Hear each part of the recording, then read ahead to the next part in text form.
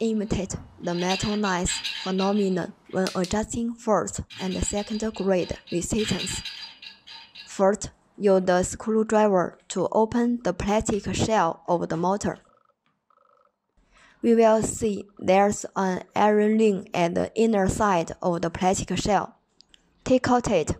Please pay attention that there's three white lines need correspond to the screw hole position on the plastic shell.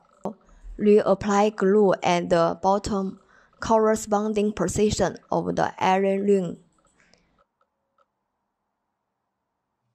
Then match the iron ring and stick it firmly.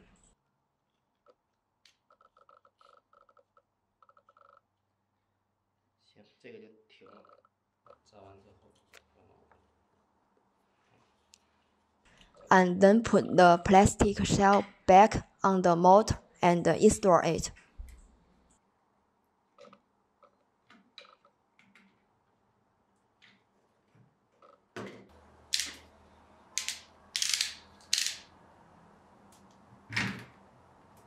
At this time, the motor is back to normal, though you can start to ride and enjoy it. Thank you.